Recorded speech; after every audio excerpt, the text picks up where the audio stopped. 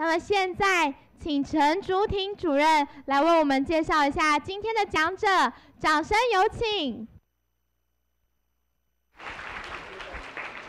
谢谢，掌声等一下要更热烈的留给我们的刘仲明副院长哈。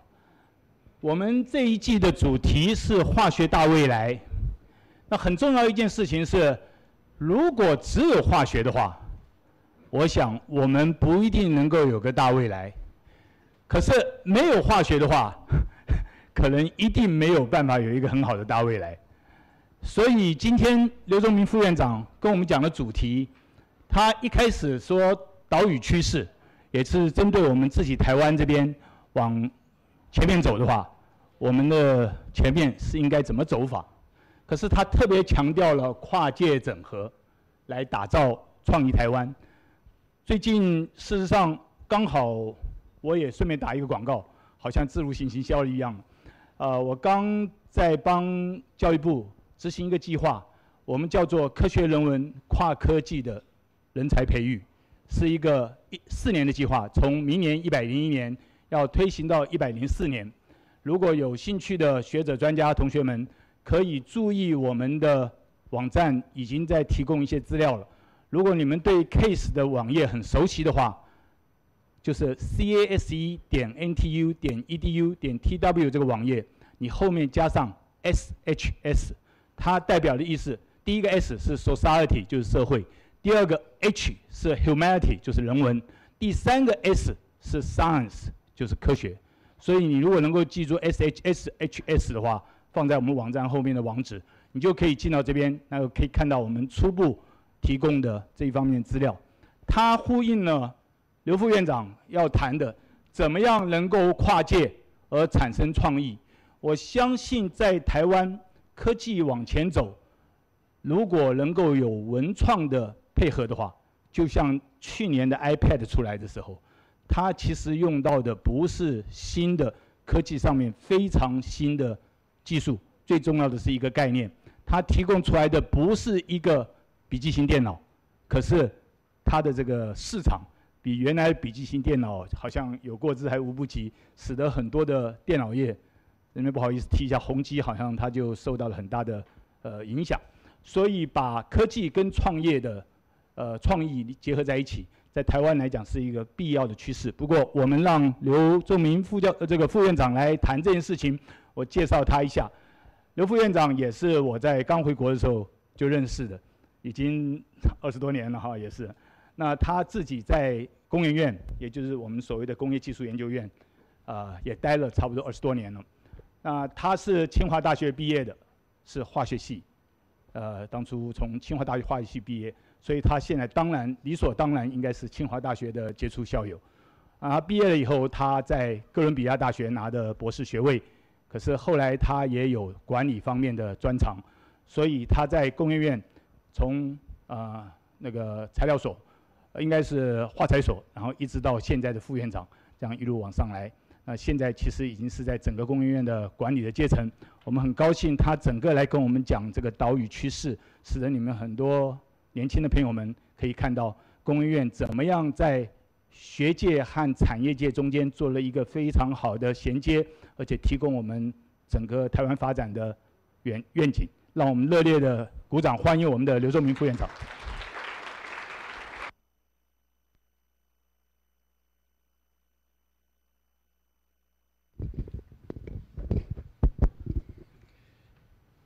谢谢呃陈教授啊。肖教授啊，周教授、刘教授，还有我们在座很多啊年轻的朋友啊，我感到啊有一点点压力哈，来跟大家呃这个呃从比较啊更宏观的角度来啊谈化学为什么对台湾未来啊这么重要。那我今天的报告啊，首先大概会啊试着哈啊从我观察到的。啊，现在世界变化这么快哈，那啊，怎么能抓到一点点方向啊？我让我们在未来十年、二十年大概知道主要的趋势是什么。啊，之后我试试着啊，用一些例子哈，有一个例子是啊，我觉得也很有趣的，在啊普里种茭白笋啊，怎么样子啊，透过科技的这种跨领域的结合啊，让我们啊普里的茭白笋能够发展的更好。那谈这种跨领域的创新，那之后呢啊，因为最近国光石化不盖了哈，事实上对台湾的化学工业啊也是带来一个啊全新的这种啊也可以说是机会了哈。那我试着跟大家报告。那最后如果有点时间的话啊，我。呃，试着啊，从一个化学实验哈，我刚刚看肖教授这实验好精彩。那我有一个影片，从一个化学实验，希望能够看到这个化学怎么样啊，启发我们对一个复杂系统的啊了解。那么呃，刚这个肖教授一开始就提到了很多啊，考大学联考的考试哈。让我就想起来，曾经有一次跟台大物理系一位林教授哈谈起，诶，为什么他读物理哈？那我是从很早的时候也知道自己是比较喜欢化学的哈，只是讲不太清楚。那这个这位林教授呢，哎，他就说，以前高中考试的时候啊，这个物理好像总是会试着去找到一个共通的东西哈。那化学呢，每次考试都考那些特例，非用背的不可哈。哎，这个当然也不一定是公平吧，哈。不过化学就是刚刚肖教授讲的，有很多很复杂的现象，我们观察了，啊，要从中呢啊找出一点头绪，哈。就是我们学化学的人，也许对这种复杂的现象、复杂的环境啊，比较有忍受力吧，哈，比较能够接受那种啊模糊，哈。我如果从这边开始的话，这个。我大概三四年前在内部呢，用这个啊，用这张投影片啊，来跟大家谈到未来哈，这个啊是很需要一个系统的思考啊，因为这个，因为这个世界啊，就像生命一样，那不是现在不是在谈什么规则、什么结构哈，而是在谈学习和探索，那。网络啊，这个 networking 哈，你的人际网络跟网络是关键的哈。那要找出来什么 works？其实刚刚陈淑婷教授谈到 Apple 的例子啊，啊，当他没有出来的时候，都都没有人知道哈。他出来之后，大家都有一大堆理论啊，啊，就像我们现在股市名嘴啊，就是所以啊，这个是很充分反映到哈，我觉得啊，一个啊很重要的观念，我如果从大学毕业啊，这个读完博士哈，到工作了，现在三十多年啊，有一个在学校里面没有好好学，或者说没有人教我们，现在很有体会的呢，觉得非常重要的有一个字就是 complexity 哈，复杂性。那我觉得化学跟复杂性是非常有关的啊。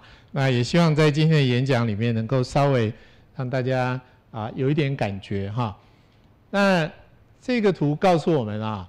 这个全世界如果去看到排名一百大的公司啊，从过去一百年大约一百年来看啊，这个这个公司的平均寿命，在二十世纪初，这个平均寿命快一百年哈，意思是说我进到一个好的公司，我就好好的做，大概可以做到退休哈，就像我在工研院一样哈。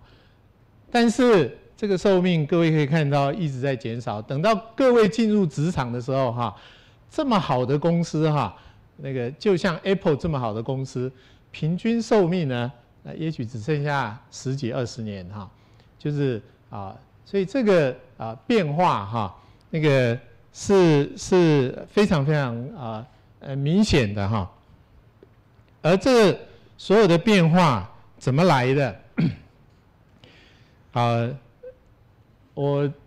很喜欢这个图，虽然它有点复杂哈，因为它帮忙我看清楚了一些事情啊。因为当我们看到未来这个发展，其实最好就是从历史去看哈。那这个历史一直追到各位可以看到工业革命开始啊。如果在工业革命开始之前，世界上大的变化，可能是因为战争，可能因为瘟疫，可能因为什么什么缘故啊，人死了一大堆，然后又重新开始。那在工业革命以后呢，这个。这个啊 p e r e z 先生哈，他做了分析啊，大概啊有几次巨大的变化哈。我想时间的关系离我们太远了，我就不讲了哈。好像说在第三次这个变化呢，啊，就是钢铁工业开始发展，那开始有了电哈，有了重工业。各位看看现在到处都是电，你觉得插头一插就应该有电哈？那想想看，一个没有电的世界是什么样子啊？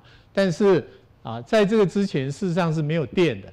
那这个电慢慢深入到我们生活哈，啊，它照这位先生分析呢，通常这个对世界产生巨大变化的这种技科技的创新呢，大约会经历五十年哈。那前面一半的时间呢，它就是啊，这边用个镀金期哈，就是啊，一个对的东西一开始它就它就爆发哈，就是就是大家就一窝蜂的投入啊。那从开始导入到一窝蜂的投入，一窝蜂之后呢，结局大家都知道就是要崩盘啊。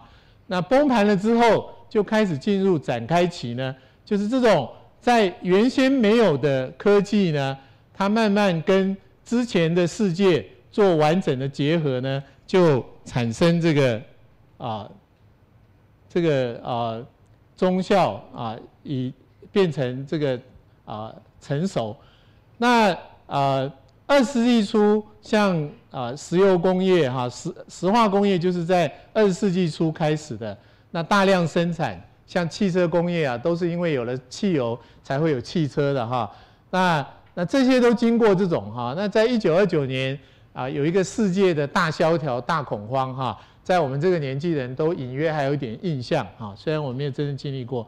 那跟我们最有关系的这一波哈，就是资通讯网络的这个发展啊，那它的滥觞期可以说开始是在啊一九七零年初哈，那。啊，逐渐导入到公元两千年，各位如果还有印象的话，有一次大康的 bubble 哈，呃，你可以把它看成是当这个资通讯导入进来之后，经过导入，经过狂热哈，那崩盘了一次。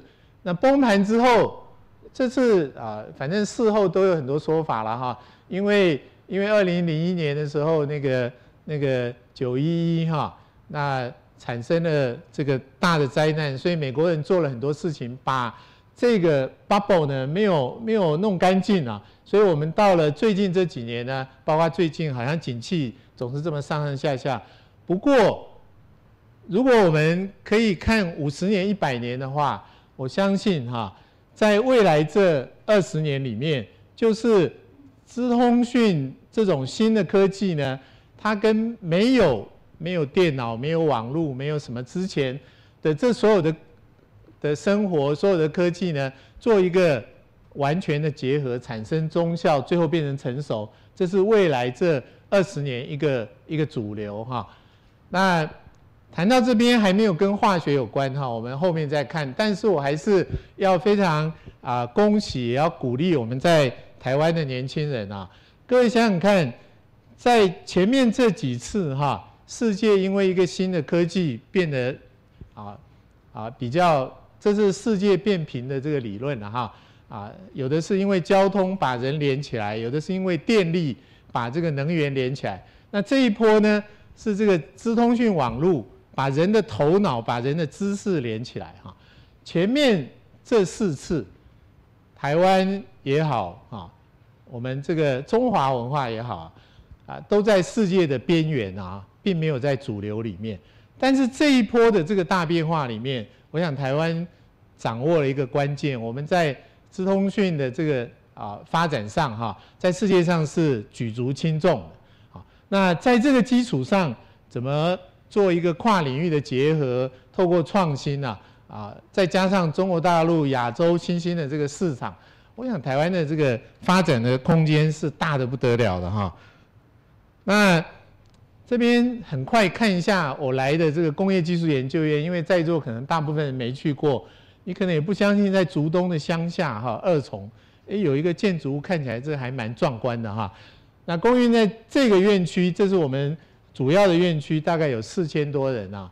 那其中大概啊应该超过二十几个 percent 是博士，加上硕士大概有啊七十五个 percent 哈。那工院是一九七三年成立的哈，各位如果稍微有注意看一下哈，这个这一波资通讯的这个导入哈，时间是在一九七一。事实上，在一九七一年的时候，我想在台湾当时呢就有一个政策啊，啊，当时台湾大概勉强从一个农业社会开始进入到有一点轻工业，所以啊，政府里面哈，我想最主要是当时的孙运璇先生担任经济经济部长的时候，在思考怎么在台湾建立一个可长可久的。一个支柱型的产业啊，那个时候就决心要发展电子工业。那当时的人也是很有智慧的哈，他们做这个事情呢，掌握了几个对的做法哈。第一个就是这个电子工业发展很核心的这个半导体啊，啊，机体电路啊，决心台湾要发展。那那个时候讲发展机体电路，很多人都会觉得台湾凭什么啊？怎么可能可以发展机体电路？那那做法上呢，也因此就认为说，一定要找技术引进的机会。台湾在当时的环境之下，不可能从零开始，所以就各方去找哈。后来有两个选择，选了 RCA，他愿意啊，把他当时在半导体是一个二三流的技术啊，他不玩的啊，但是几百万美金，他愿意把整套卖给台湾哈。那啊，当时几百万美金是个天文数字哈，所以。啊，台湾有那个机缘呢，透过一个技术引进，那技术引进的时候，一定要能够把它内化，变成一个我们自己的东西，所以要成立一个实验室来接收这个技术，来孕育这个技术。那那个时候就成立了啊，工研院的一个电子工业研究所，哈，啊，坦白说，就是因为新成立一个研究所，把当时好几个老的研究所就合在一起。就变成一个工业技术研究院。那之后陆陆续续也发展了一些新的研究所。那这样子一个啊三十多年前的事情呢啊，还有一个重要的步骤哈，在当时就决定了说，这个 incubate 哈，这个孵化不能一直孵化，要尽早的成立衍生公司，成立啊这个新的这个公司，希望产生产业。所以呢，大概在呃呃，一九七八年哈，你看一九七四年有一群人跑去做技术引进啊，啊，这里面啊，例如说有一位这个这照片里面不知道有没有哈，当时第一批去的人有一位先生叫蔡明介了哈，我那时候想这位先生啊，他当初去就是学 IC 设计，台湾连 IC 都不会做哈，他学 IC 设计显然闷了很久哈。但是后来 IC 越来越红的时候，哎，IC 设计好像变得不错哈。那个啊，所以当时去学了一个很完整的技术啊。那透过成立衍生公司，成立了联电，那后来呢，成立了台积电哈，在一九八七年。那台积电它除了在原有的基础上呢，它还有一个所谓晶圆代工这样子一个 business model 的创新啊。在这个二三十年下来，哈，在这个基础上，台湾有很多的学校，很多的优秀的年轻人，啊，很多的产业，大家一起努力，哈，那个，所以现在台湾在 ICT 产业上建立了一个非常完整的产业结构，哈，那啊，也不断的推陈出新，可以说我们在 ICT 上，哈，因为这个机缘呐，所以台湾在世界上是举足轻重。我很希望我们虽然是学化学的朋友呢，啊，因为在跨领域整合的时候，我们一定要知道台湾的长处在哪里哈。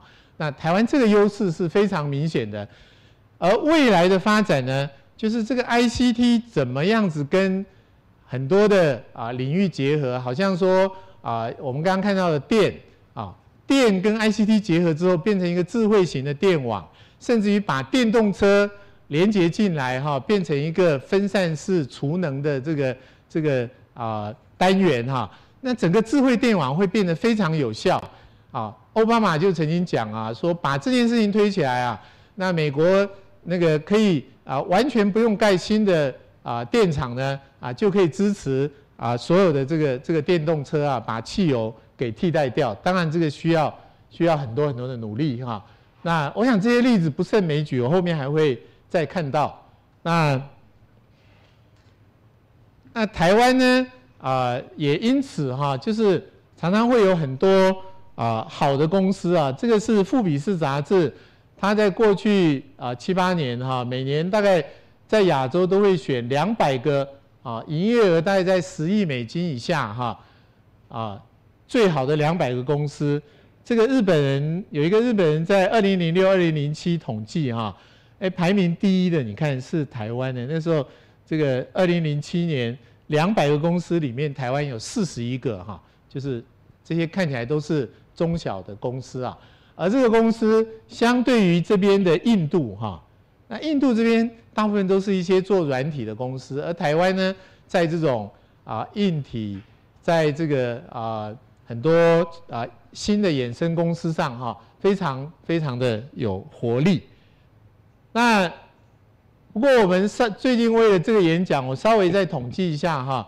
一方面也可以看到这个数字哈，事实上每年变动蛮大的哈。这公司也很少有持续啊，就是每年都是它的，几乎都是新的公司啊。但是台湾一直表现都不错。那最近当然就是也要关注到啊，当。中国大陆市场崛起之后，哈，那中国加上香港这个数字是很可观的。不过无论如何，台湾在这种新的公司哈的的产生，真的是啊非常非常的有活力。那啊，我记得好多年前有一次啊，在一个场合哈，那个啊张忠谋先生那个时候还在工业院担任董事长。啊，在有些讨论，有人就说啊，我们台湾现在资讯电子的产业啊，已经是这个这个可以跟先进国家平起平坐了哈。那那个因为张忠谋先生还是有想法，而且讲话很直接的哈。他就说啊，可能还太早吧，大概就是从原来像是用人哈，啊做的像是管家而已了哈。啊，各位看看我们现在有很多公司啊，那个做很多辛苦的事情啊。啊，也有一定的分量，不过看起来还是像个管家，是不是真正跟人家平起平坐了哈？那要跟人家平起平坐，我自己试着用一个比喻哈，台湾现在就是很会做哈，什么东西来啊，我们都做的啊非常好，品质很好，价钱又便宜啊，这个啊这个是我们最擅长做的。那啊，我今天带来一个电脑是 Acer 哈，那 Acer 的理这个这个啊策略呢？就是把笔型电脑做到很便宜啊！啊，我也是碰到一个美国设计师啊，跟他谈到产品啊，他说 HTC 还不错了哈，宏达电，他说宏达电还不错，因为宏达电的呃工业设计哈是在旧金山做的哈，那他的那个那个 user interface 是在西雅图设计的啊，所以这个产品还不错。我说那 A 色呢？他说 A 色你去问美国人啊，就是一个便宜的电脑哈。这个就是台湾最会做的，就是把它做便宜哈。但是我们现在一定要从这个，我们已经很会做了哈。就像如果我今天是个佃农哈，那啊地地是别人的，我就一直种一直种，那个田都是我种的，只有我会种，他也不会种哈。哎，但是地是人家的啊，那你就是一辈子劳苦哈，也是有一碗饭吃而已了哈。那那什么时候你能够有自己的地呢？因为你已经很会做了。那我想。大概就是要靠创新吧，哈。如果啊创新呢，可能就是要在新的地方找机会，因为原原有的地方，各位如果看前面从工业革命开始啊，几百年我们根本都缺席，我们在最后这一波站到一个位置哈，但是一定要能够创新，找到自己新的机会，把很会做的这种本领再结合起来，我们才能真正当主人呐，哈。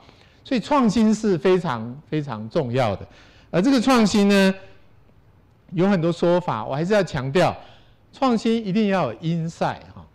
那我们有很多那种，我看很多美国人呢，我在读书的时候，很多美国的朋友、美国的同学啊，都很会讲哈。那光会讲这个，如果都是很肤浅的，也不会得到人家的尊敬的哈。虽然口才很好，所以一定要内行哈，你要有 insight。那非常了解之后，还能够创新呢，有发明，这两个结合啊。那才是这个 innovation 啊，那因为中文讲创新，好像有时候很容易啊误解哈。我们用三个字来看哈，那 discover 也是一种创新啊。那它最主要的产出应该是产出论文哈，这个就是去探索一个全新的。这个在我们学校里面呢，做很多这方面的事情啊。那谈到 invention 这个发明哈，那这就是为了特定的目的啊。它的一个主要的产出可以说是专利啊。那学校现在除了论文之外，也一部分也在注意这个专利，但是基本上还是以论文为主了哈。那谈到 innovation 目的是什么哈？各位看看世界上谈 innovation 的啊，都是公司的 CEO 大老板哈。他大概也不是为了论文，甚至于也不是为了专利，他为了什么哈？他是为了赚钱哈。这个 innovation 呢，简单来说，我觉得它应该就是要能够解决问题，解决人类的问题。当你能够解决小问题的时候，你可能就可以产生小的这个效益哈。当你能够解决大问题的时候，你就可以产生大的效益哈。那重要的是要能够解决问题哈。刚刚陈竹婷教授提到 Apple 的这个例子哈，很多人就因为大家都知道 Apple 好像没有什么那么独特的技术啊，虽然它这个产品就这么轰动，不过各位如果稍微注意一下哈，我呃一直都是用台湾做的手机呢，最近因为觉得在应该多了解一下 Apple，我去买了一个 iPhone 哈，那 iPhone。好像只有一个颜色，是不是？iPhone 有没有白色的？哦，最近有了，哇，有进步。那个啊，印象中这个 iPhone 哈，好像就是一个颜色一个款式啊。他们说在 Apple 之前，世界上这个最大的手机厂是哪一家？你们知道吗 Nokia Nokia 同时卖几款手机，你知道吗？也没有很多啦，五百款而已。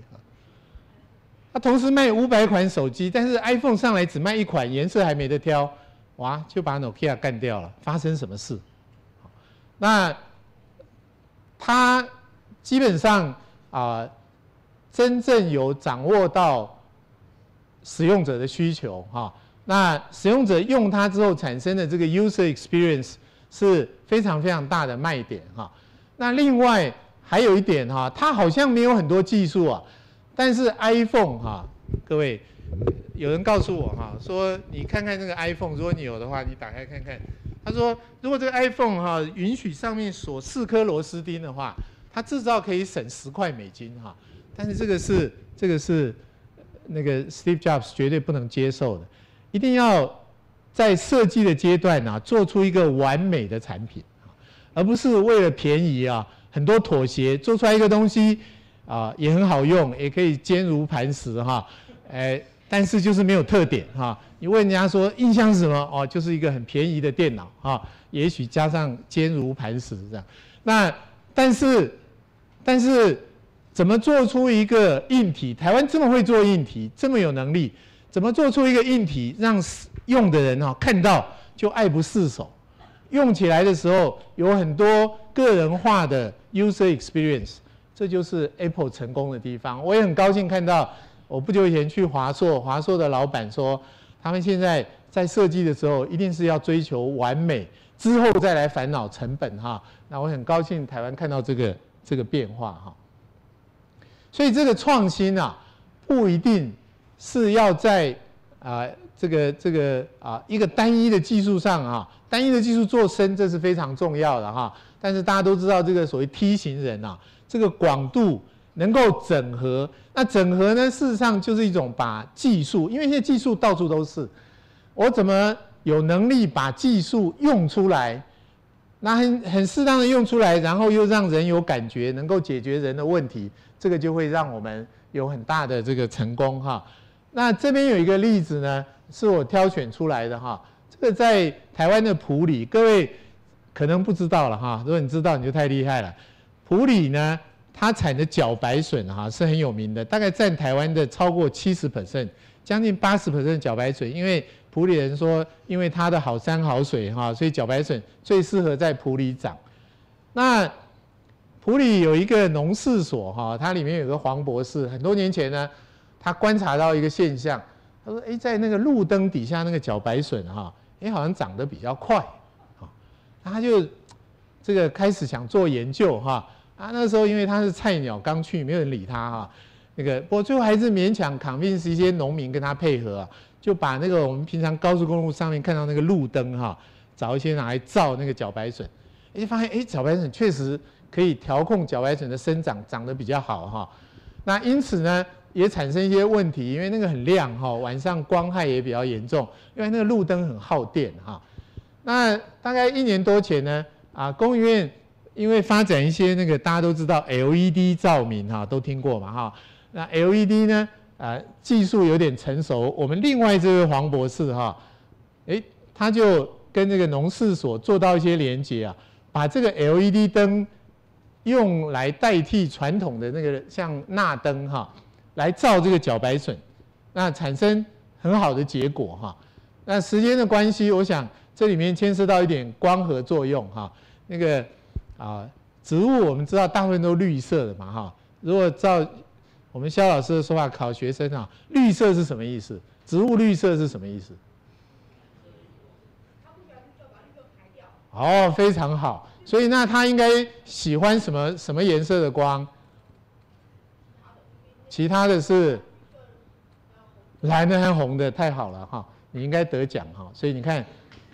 蓝光和红光哈，不过我还是要说，绿光它还是吸收一点啦，只是效率不是那么好，它并没有到零了哈。那个啊，但是红和蓝是植物生长非常重要的哈。那人的眼睛对光的哈，因为我们觉得一个光很亮，那是人眼睛的感觉嘛哈。那植物做这个啊光合作用的时候啊，它它跟人眼没关了哈。所以啊，我们如果是照明用的这个灯啊，用来做这个啊植物，其实不是很有效的。为什么？因为人眼对绿光最敏感哈。那你要让它觉得很亮，你要多放一点绿的光下去哈。那啊，但是植物它喜欢的是红光哈。那我就发现非常巧，这个 LED 发光的集体啊，做的效率最高、寿命最长、最便宜的就是红光 啊。那在做人眼的时候，做人人的这个室内照明的时候，用处比较差哈，因为我们对红光很不敏感哈。但是对植物非常好啊，所以这个量子效率也非常好。那蓝光也有一些作用，我不是植物的专家，各位有兴趣可以多去了解不同的光哈，对植物的生长，有的长茎，有的长果，什么都有一些影响哈。不过我们这样做了之后，简单来说哈，就是原来用钠灯。啊，那在普里地区算算，一年要花到将近五千万的电费哈。那但是我们 LED 去用，把它做到最有效的时候，我们发现大概五百万就够了哈。所以这个让当地的农民非常感兴趣哈。那另外各位可以看到，原先呢是这个这个这种颜色哈，昏昏淡淡的光，现在有的红的，有的有的蓝的哈。啊，那个晚上一整片看起来很漂亮啊。所以有人在想说，这样应该可以去做一个什么观光的什么什么用途哈，可以在旁边喝咖啡什么的啊。那啊，这样子一个结合哈，啊，我们就发现有许许多多可以继续做的事情啊。这边提到什么观光景点啊哈，我想现在大家都挖空了心思要创新嘛，所以就很多很多想法。那么呃。我这边还是愿意跟大家再谢一点哈，它这个呃光适当的这个投入呢，就是可以让这个茭白笋在它该长大的时候可以长得比较好，而且你可以调控它。那长到一个程度的时候，这个农民最清楚啦，就要把它停下来，然后加上一些菌的影响哈，那那个植物就会开始长那个结那个笋哈。那如果这个太超过之后，那个菌啊。这个繁殖的太太厉害之后，那茭白笋就有黑黑的东西出来哈，哎，这也是一门学问了哈。不过这个适当的照明，除了让茭白笋长得很好之外哈，你从整体来考量啊，大家都知道农业有一个很大的问题是什么？也像一窝蜂了哈，都有旺季嘛，一旺的时候那个价钱就是跌的不得了哈。大家都知道最便宜的时候就是。你吃水果的时候嘛，因为那时候水果其实最好的，但因为量太大就很便宜。那用这个光哈，不单单可以让茭白笋长得比较好，更重要的是能够调节茭白茭白笋的生长期。以前一年两期啊，现在一年可以长到三期，而且生产的时间可以错开，所有的农民都获益哈。所以这是一个跨领域创新的例子。事实上，我们如果从这个观点来出发，我再呼应一下，ICT 产业跟化学跟其他行业有什么关系？现在有一个名词叫做啊，可能大家解读不一样，叫植物工厂哈。各位在花博会的时候，可能也看过，哎，有一些那个厨房里面是不是放一个柜子哈？那加上这个光的照明，你就可以在厨房里面长菜哈。那长完了之后，直接直接拿来吃哈，保证是有机蔬菜。那这个绝对是可行的。问题就是你的成本啊，会不会太贵？好，那当 LED 这种照明越来越普及，它的效率是非常高的哈，它的能源转换效率是非常高的。所以在未来哈。这个植物工厂除了我们原来熟悉的温室之外，啊，有非常大的可能就是像这个房子里面啊，如果温室大概就是种一层植物嘛哈，但是如果用到人工光的话，也许你可以叠了五层六层哈，那用人工光来啊当做人工的太阳哈，那这整个啊农业也可能就会带来一个啊全新的机会，就是你怎么把 ICT 产业跟农业做一个好的结合哈，那这里面有没有化学？这里面化学可多了哈。那啊，我们再啊慢慢来看哈啊。事实上，我们在工业里面，当哦我们原来这个做工业的人碰到农事所这些做农业的啊，都是黄博士哈。当他们产生火花之后，现在就不断的在看。哎，那葡萄能不能用这个方法来做什么事情？啊，什么好多不同的东西哈，包括草莓啊，都不断的有新的想法一直出来哈。那啊，接下来我只是换个话题啦哈，这个化学总要看看啊，这个叶绿素嘛哈，学化学的人看到这些东西就哦，前面听了半天都是好像跟化学没关哈，一看到这个心情就好一点哈，这个真的非常化学了哈。那啊，我自己在专业的领域，后来学有机光化学，所以看到这些东西我非常喜欢了哈。不过今天大概没有时间跟各位多谈这些事情，我想表达一点哈。我在读书的时候啊，花了很多时间啊，在尤其读大学最后那两年啊，我看大概一半的时间都在读量子化学哈。这个量子化学真的不太容易读啦，那个、那个、那个薛定谔 equation 也、也、也，反正都解不出来嘛哈，那个事情都都很困难哈。那等到得了博士，过去这三十多年的工作也一直跟科技有关哈。那有一天我突然问自己，我说我学那些量子化学到底在哪里哈？我为什么都没用到哈？量子在哪里？那有一天恍然大悟哈，就说：哎，原来 quantum 量子，量子在分子里面，伪性的分子哈，好多 quantum chemistry 哈，去了解那个分子，但是出了那个分子哈，那个分子就像你堆积木一样，它就变成一个积木的单元，你就照牛顿力学，照我们人大概可以。想象的那些方式，你就去想它哈，大部分的现象都可以解释啊。所以这个 quantum 似乎就这个 nature 哈，透过一个分子这样的概念啊，就把那个那个错综复杂哈，很难理解、很难跟别人连接哈，去创新的那些东西呢，靠着一个分子就把它把它 decouple 掉了哈，就把它关在里面哈。那只有当光照进去的时候。哎，有很多量量子现象，这个是我们做光化学、有机光化学很喜欢的那个，以后再说哈。但是这个分子是一个很重要的概念，所以我觉得学化学的人啊，如果讲有一个跟所有其他 discipline 都很不一样的东西，就是我们对 molecule 特别有感觉哈，而这个你习以为常，但是别人是没有的哈。那这个 molecule 呢，啊。光化学这个我就不讲了，虽然这个还是啊，其实都是很有趣的哈。那个那个光在叶绿素里面被激发之后，那个能量怎么传导呢？啊，像这边只是表达说，在能量它高往低流嘛哈，所以它就会往能量低的地方去去走啊，你只要能控制那一点呢，你就等于可以控制能量的这个方向哈。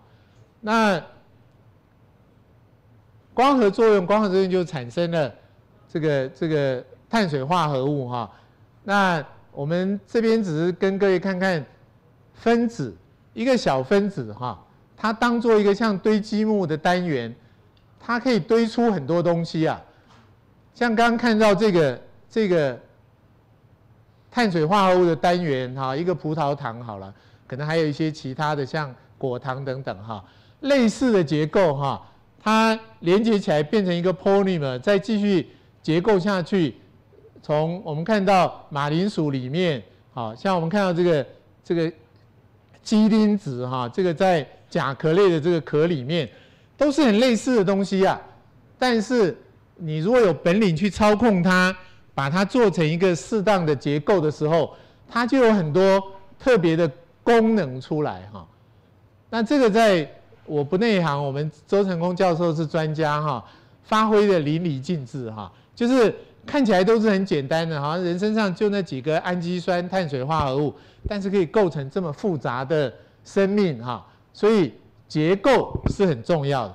这是我希望给化学的喜欢化学的朋友啊提醒你注意啊。除了喜欢那些分子之外，那个分子当做一个 building block，当做一个基础的单元，能够去把它跟结构联合起来哈。那它可以有。啊，非常非常多的功能。那因为分子是一个非常小的东西，大概一般小分子大概只有一个 nanometer，一个纳米哈。你不透过分子，你当然很难操控这些物质啦哈。那我们化学家是最懂得分子的。我这边啊，出门前特别拿了一根这个回纹针哈，希望表达的意思就是说，今天回纹针它可以夹纸，有个功能，那是因为它有那个结构哈。你把那个结构破坏了，它其实就是一根铁丝而已哈。那你怎么样子透过这个结构哈，分子的操控产生结构，而这个结构还有非常非常大的空间去了解，因为在 Nature 刚谈到一个分子是一个纳米，一个 nanometer，一个人一公尺，大家都知道这中间差了十的九次方倍哈，所以你大概不能把一个东西哈。就是这样聚起来十的九次方，中间就有好多个层级了哈。那在 Nature 里面啊，我的了解，从一个分子变成一个骨头哈，这中间有七层结构，每一层都有它特别的功能哈。那啊，这就像那个那个在一个组织里面要层级一样哈。Nature 是有这种层级的，它才会变成一个啊高度有智慧的哈。啊，所以我无意在这边啊表达呃这个这个叶绿素是怎么回事啦哈，我只是希望大家了解，就是从一个分子到一个高度功能的这个这个东西哈，这中间啊是有 hierarchy 的这个 structure 的哈，而这个中间事实上操控起来哈，那有很多你可以说是上帝的手是什么？因为今天在台积电。做半导体已经做到几乎极致了哈，在谈二十纳米，但是一个分子是是一纳米啊，那二十纳米这个操控已经操控到说里面那个结构里面快没有电子了哈，所以怎么实在是快玩不下去了，绝对玩不到一纳米，到一纳米只有靠分子啊操控分子让它来产生这种适当的结构哈。那我下面也许用一个简单的例子，这是一个胆固醇哈，这个在啊生命里面也有很多它的重要性。那我们在过去曾经做一个研究哈，这个胆固醇这边这个氢氧基呢，我把它接一个亚克力酸，就变成一个有双键的这个官能基啊，意思说它可以啊经由照光产生聚合哈，可以可以。可以啊产生啊 polymerization，那像这样子一个胆固醇的单元呢，它有易经的现象。那它这个易经的现象，单单看一个胆固醇分子是没有什么用的哈。但是它这个易经的现象，如果我们有一些操控的能力哈，可以让这个分子照我的意思排列的话，那它也产生一个所谓这个螺旋的结构哈，这个是胆固醇分子的一个一个天生的结构，就是就是它可以形成一个一个螺旋状哈，会有一个 pitch。那当你做适当的操控的时候呢，我们就可以来做一些应用哈。其中一个应用呢，就是还利用到这个胆固醇分子，它有这种手掌性啊 （chirality）。当它有掌性，那又有一个特定结构的时候，它就可以来分光。分什么光呢？就是我们一个自然光哈，它有左旋右旋。那我做一个适当的结构，这个结构就可以反射左旋，让右旋通过哈，有这样子一个选择性哈。那这个细节我就不讲了，重点在于说你有没有能力来操控这个这个易经。那你做适当操控的时候，像你看这个微结构哈，这个都是 几十纳米一层一层的，这一层一层不是人工做的，是那个分子它自己自己叠起来的，就自组装起来的哈。那我可以稍微跟大家谢一下这个自组装的这个概念怎么来做哈。那最主要就是我们有一个叫做 anchoring 的 process 啊。我今天在一个适当物质的表面啊，用一个啊，好像说我用一个尼龙在一个这个物质表面刷一下哈，那这个刷的对的时候，这个尼龙里面极性的分子跟这个表面极性的分子呢，就产生一个方向性哈。那这个密度不是很高，但是有一些易经呢，它就会按照这个方向有点锚定在上面哈。那再加上一点热能哈，thermal energy，这个易经呢。啊，在一段时间里面，它就会慢慢排列成最稳定的结构。就这易经原来是乱七八糟的哈，原来是乱乱的哈。那经过这个 anchoring，再加上一点 thermal energy，让它动哈。那最后就像那个国庆阅兵一样，这些分子都排列整齐啊。那这是一种操控的能力啊。那当我们做一个这个适当操控的时候，它就可以达到我刚刚讲那个功能，可以把一个光线呢，某一个左旋光哈或者右旋光选择性的穿透和反射。那这个有什么重要？那这牵涉到应用啊，因为这个如果没有应用，这也就是个现象而已啊。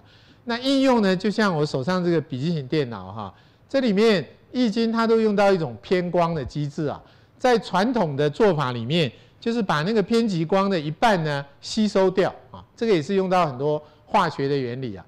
但是吸收掉的那个光就有点浪费了嘛啊，我们用这么多电视，用这么多电脑，那那个能源消耗就比较多。那用这个方法可以怎么样呢？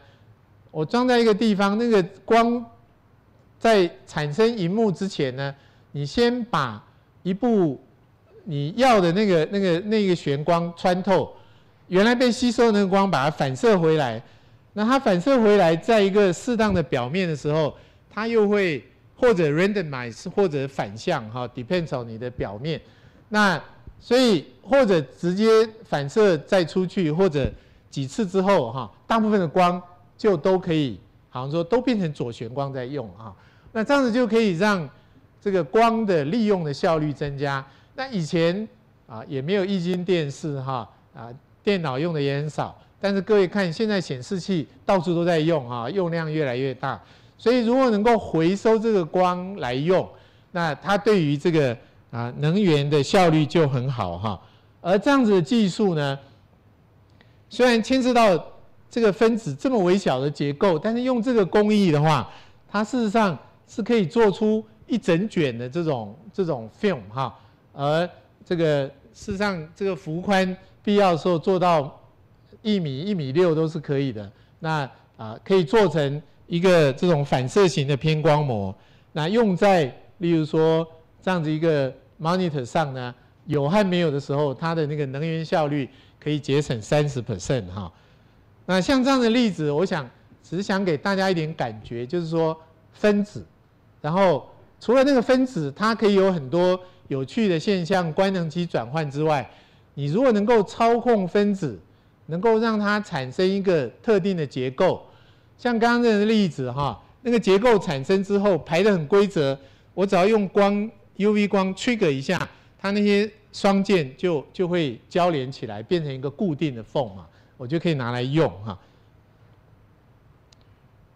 呃，事实上这个例子很多，不过时间的关系，我想我就再转到下面一个话题呢，就是台湾这个这个化学工业的未来哈。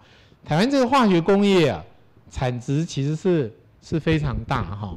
那简单来讲，大概总产值一年哈，啊这个数字好像啊变来变去，有广义的，有狭义的，大概四兆台币左右了哈。就是对台湾来讲，这是一个非常大的产业。那这里面啊牵涉到很多可能大家平常看不到的上游的啊，从石化的中间体。合成树脂、合成橡胶、塑胶制品、人造纤维，啊，等等等等，哈，这个啊，那台湾这个啊，过去石化业其实发展的不错，就像我们钢铁工业一样，哈，也都发展的不错。但是哈，我们曾经试着去统计台湾整个石化工业，如果你看台湾二氧化碳排放，哈，我不知道各位会猜说这个石化。业台塑加上中油贡献了多少？哈，几乎四分之一是他们贡献的，就是谈二氧化碳排放，哈，这个石化业其实是用啊，这个这个是一个非常的大户，哈，那也要用很多水，在台湾水非常便宜，电也很便宜，所以就一个企业来讲，哈，你如果在台湾设个石化厂，很有竞争力啊。那中国大陆市场又这么好哈，所以你看股票市场，石化业这几年都很赚钱呐。那啊有没有做研发？坦白说，研发做一点点哈，因为很多时候就是你做成很初级的原料就卖掉哈，就赚很多钱呐。那个所以是一个做非常大量的，一年做好几百万吨这样子的哈。那这一次有什么改变哈？因为当我们仔细去看一个所谓附加价值的时候哈。我们就发现台湾有一家石化公司哈，我们就讲它的名字叫做长春集团啊。长春集团一年也做到三千多亿的产值哈。当我们去看它的附加价值的时候，发现这个公司附加价值大概有五十 percent，而台湾平均石化业只有十几个 percent。差别在哪里？差别在过去五十年，长春就不断的投入技术，不断的投入研发。不断开发新的东西，而不是只做制造啊。那台湾石化业从 process excellency 是很好的哈，我们可以做很有效率啊。有的时候说不定那个有些地方也稍微省了一点哈。那个我印象中，当我经过欧洲，有的时候一条马路开过去，哎，旁边就有一个清油裂解厂啊，啊，就在那边做那些事情。可是我们都没感觉，不要说味道哈，就好像什么东西都没有哈。那那个是要付出很多代价的，你要有技术，也要投入很多的成本。那台湾的石化业做的真的不错哈，但是在这个 process excellence 上面啊做的很好，那因为很赚钱，又不断的想扩厂，但是做这个大量制造的时候啊，它开始产生一些问题。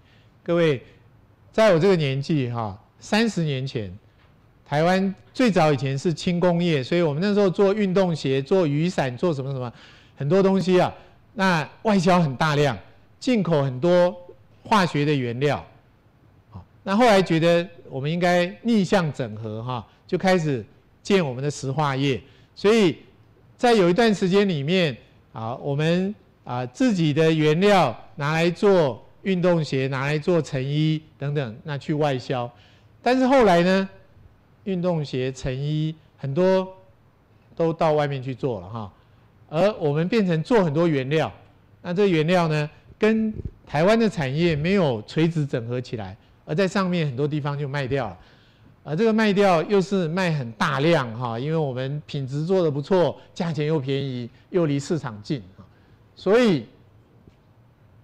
今天我们如果在看未来哈，那中国大陆拼命在盖新的厂，有一天它所需要这些原料哈，可能不再会从台湾买去哈，它很多自己会去做。如果我们不早点来做这个转型，还在又盖更多的石化厂，也许就要适当的拿捏哈。所以我想这一次在很多讨论之下，最后还要惊动总统哈来宣布国防石化不做了。啊，我觉得一个很大的转变呢，就是说我们之后要把乙烯要把这个原料当做一个珍贵的资源。谁能把它做出最大的附加价值，在台湾就多给他一点，啊，那你做不出什么好的附加价值，那你就算了哈。那你如果真正要扩厂，那就让你到，不管是印尼，甚至于中国大陆还是马来西亚去扩厂哈。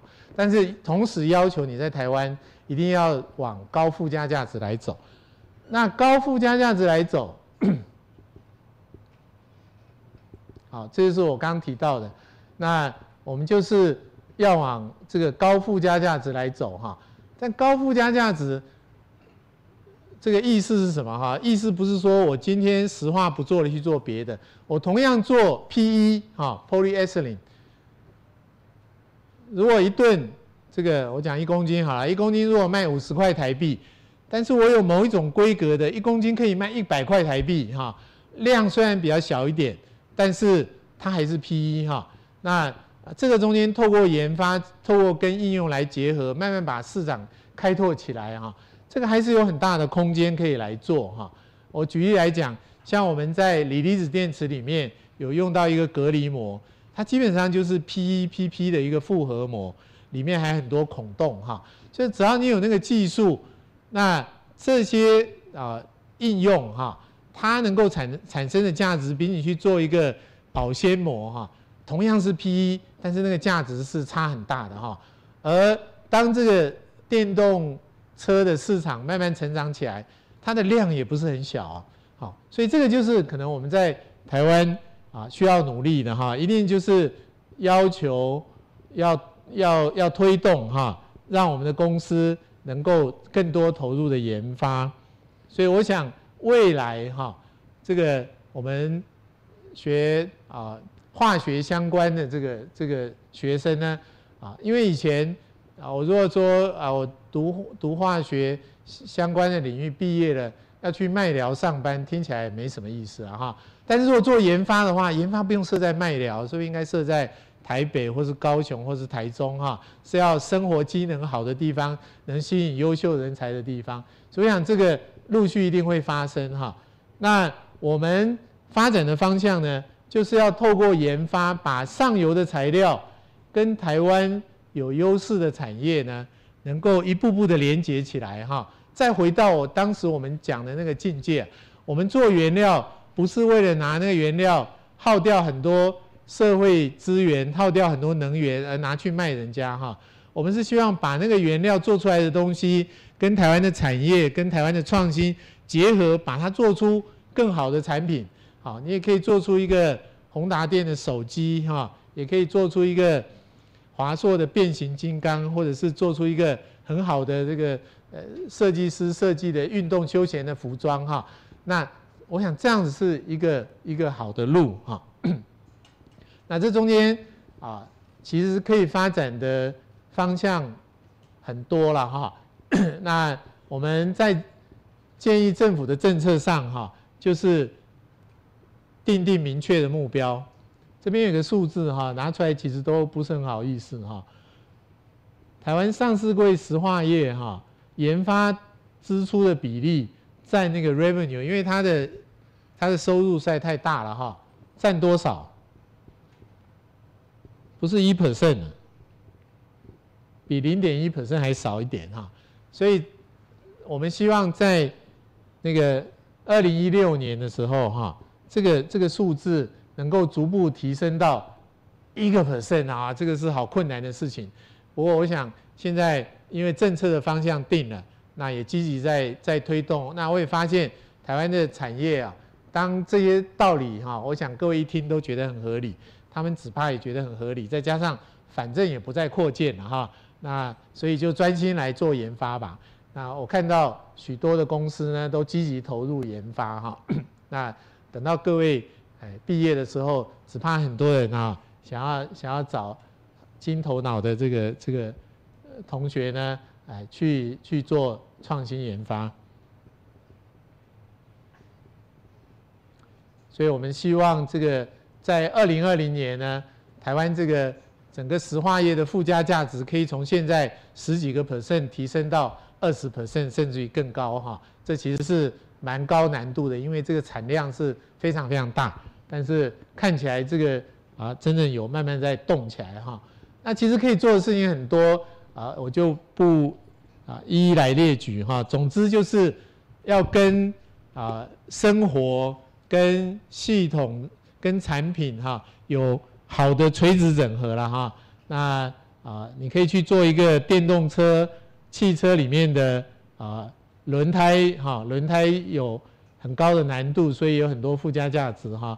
那你可以去做一个啊轻量化碳纤维的脚踏车，或者是我们刚刚谈到的那种胆固醇易经的什么啊反射型的偏光膜哈，那 LED 照明里面。也有很多石化业需要的材料和原料。那另外一个很重要的，当然是在啊生医方面哈啊。那生医的材料和系统哈，因为台湾台湾的医院是非常高水准的啊。台湾的医生啊，我们的年轻人都喜欢当医生嘛。我们很优秀的人很多在当医生。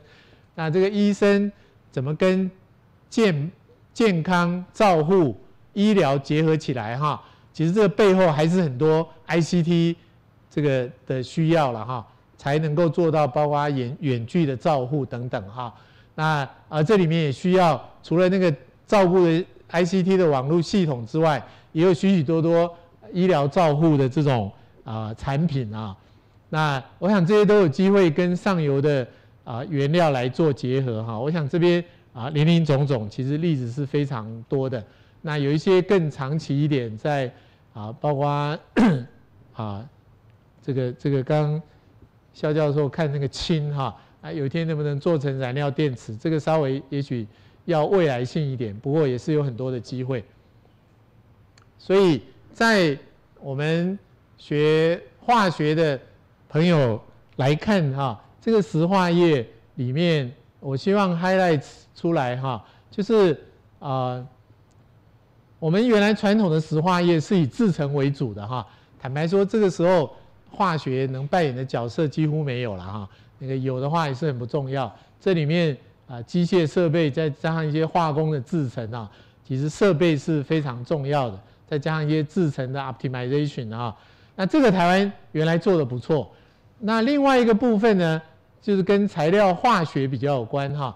这是我们刚刚讲的那个结构和特性的关系啊。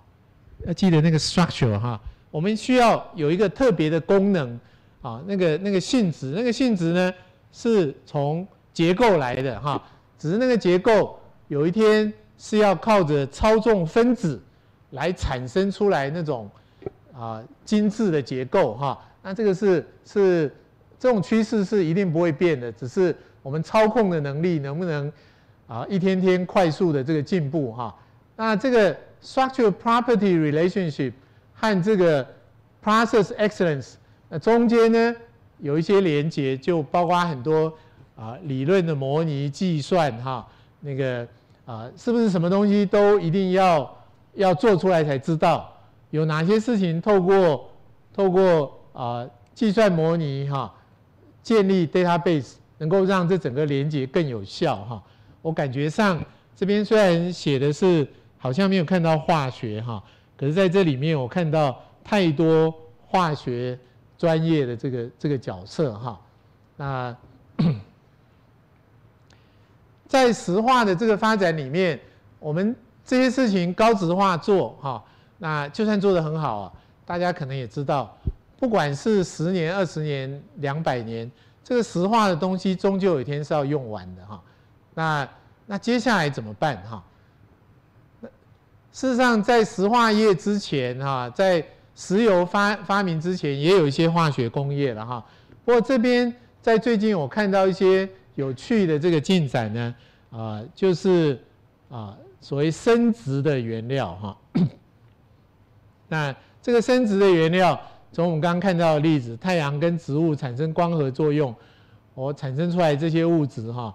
那这些物质怎么样变成一个？适当的单体哈，那这些单体可以去衍生出来一系列的啊这个化学的产品、化学的工业。那这个发展呢啊，在最近三五年，我们很感觉到一个新的这个机会哈。如果从名词来讲啊，我有点害怕讲这个名词哈，这个因为这不是我的专长。我这个叫做 synthetic biology 哈，我用我的了解，我这边大概最主要是希望让同学知道说啊，这个 synthetic biology 五六年前应该很少谈起哈。那最近五年，因为很多条件的配合，那看到，特别是开始有成功的例子之后哈，那隐约看到有一个门已经慢慢打开了哈。那这里面是代表什么呢？就是透过这个 synthetic biology 可以去做很多 bio 相关的应用哈。那其中一个呢，是可以用这个用它来做一些。从燃料一直到原料了哈，那我举一个工研院做的例子哈。我们的想法里面就是，你看台湾啊，在两千零六年有两百二十万吨的农业废物啊，稻子砍了之后稻杆烧掉嘛哈，烧的也乌烟瘴气的哈。那如果能够把它转换成一个原料，你可以把它当做燃料烧掉，或者变成一个啊什么。啊，生物柴油哈，但是更有附加价值的是把它变成一些化学的啊原料、化学的材料哈。我们在公园里面三年前呢，我们选择了一个叫做 itaconic acid 哈。你如果看这个化学式，大概有如果从 cellulose 啊，大概有。啊，十几二十个好的 building block，我们做了很多选择之后，选了这个 itaconic acid 哈，因为我们觉得它可以衍生一系列或者是高分子啊，这个 adhesive 或者是 rubber 哈，那或者是啊不同的材料，有很多的衍生性。那我想跟大家 share 的就是说，这边这个就我自己的了解哈，synthetic biology 它带来一个新的机会是什么？基本上，我们原来在台湾很早以前就有做味精啊，是用那个菌来发酵来做味精哈，这个是很古老的工艺。那以前呢，这个菌呢，就是啊要去筛选这个好的菌啊，这是一种功夫哈，就是怎么样让那个菌去去产生突变，筛选到有效的菌。但是这个生物科技发展到今天哈，它可以透过基因工程，当你非常了解的时候，你可以直接去设计那个那个菌哈，你去改造那个菌，把它变成一个有效的化学工厂。那啊，我们在这个例子里面呢，如果我们事实上是有用两种菌，一个是大肠杆菌 E. coli，一个是呢这个这个 yeast 就是酵母菌哈。那在两年多的时间哈，我们发现。利用 E. coli 哈，E. coli 原来在代谢的时候根本就不会产生异康酸，但是我们啊也很幸运的哈，有人在最近呢适当的时间把这个啊产生异康酸的一个菌的基因解出来，那我们也试着去找到它关键的这个菌，就把它移植到异康酸里面，那然后透过优化哈啊不需要去碰运气啊。产生一个很有效的菌，而是透过 synthetic biology 怎么不断的提高这个 E. coli 这个改改造的 E. coli 它去产生异康酸的这个效率哈。那我们发现，在两年的多的时间里面，这个效率不断的提高哈。这个从一开始看到有哈就很高兴了，那到现在已经提高了，这边看起来是。四十五倍哈，离目标还有多远？我们啊，目前呢看起来大概就是啊，如果透过发酵哈，那个一公升可以产生六十克的这个异康酸的话，那我们的目标哈，只要大于八十，啊，再加上一些条件，这个就有商业的价值啊。这样做出来的异康酸。啊，一公斤也就是几十块台币哈。那个它真正是我们 demo 水一个，就是说只要往这个方向发展哈，有一天这个啊没有石油哈，或者那个没有石油之后，这个农业这个这个啊，我们透过植物透过光合作用，还是可以有一个好的。石化单体的来源，它还是可以做出各式各样我们需要的衣服、什么电脑哈，甚至于汽车等等哈。那这一点，我们在这段时间的努力看起来，我觉得是很接近的哈。那我也可以跟大家 share 一下，我们做这件事情的一个切入点，就是得到一个讯息呢，就是说，像 E. coli 哈，像我们周成功教授是专家。啊，学生物的人告诉我说，E. coli 是透明的。E. coli 里面怎么回事？生物学家是清清楚楚的哈。那因为它是清楚，所以我们做应用。我今天学化学，我不是做 biotech，但是我做应用呢，我就可以在一个透明的平台里面，用我的创意去把它啊变成一个有效的工厂。如果那个东西本身就是一个研究的对象，根本就搞不清楚的话，那也许时机就还没有成熟哈。呃，所以以我们来看，用啊，包括 E. coli，甚至有天用 East，啊，用 synthetic biology，那是一个啊，我个人觉得是一个非常有发展的的这个这个方向了哈。而这中间跟化学有多少关系，我也讲不出来。我觉得到处都是化学，但是你只懂传统的化学可能也不够哈，它就是需要很多跨领域的结合哈。而且我还是要说一下，那个有人讲一句话啊，说石器时代的结束哈，不是因为石头用完了，所以石化这个时代的结束也不一定要等到石油用完才要结束哈。所以我们只要有好的进展，适当的时间哈，一个新的时代都可以来临哈。我其实随时可以停了哈。那个我们刚刚肖教授。秀了很多化学反应哦，我这边其实是有准备一个影片，是从 YouTube 上的影片哈，不知道它会不会播放。哦，你们看下颜色变化哈，这个东西倒进去，我我很多年前在学校的时候也是带带一些学生说，哎，我们来做这个实验哈，这个叫做一个一个钟摆式的化学反应哈。最后一分钟，各位观察一下，它在发生什么事情？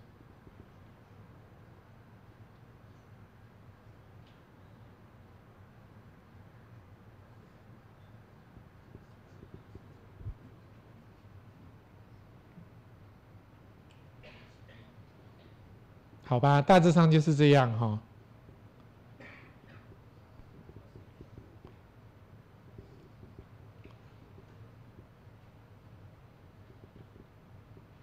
所以这是一个化学反应呢。这化学反应如果这样陈述，就是你把两个东西加进去之后，你就发现有一个 cyclic 的反应哈，像一个钟一样，哎，那个颜色出来一下不见了啊，哎，过阵子又出来一下又不见，过阵。那那时候只把当做一个很好玩的事情哈。我差不多，我很快看看，因为最后这个好像跟化学又。又又是很间接的关系啊！我大概想这样讲，就是说，当呃二十多年前我还在学校的时候，啊，带着学生做这个反应，就是那时候在好像是哪一个杂志上看到这个，我们就觉得很有趣，就来试试看。好，哎，这可以 repeat 这个实验哈。那个你有兴趣，你可以去网络上看看，两个东西加进去，那个，但是后来那个发现。有一个诺贝尔奖得主啊，他讲了一套东西啊，好像就是跟这个高度相关哈。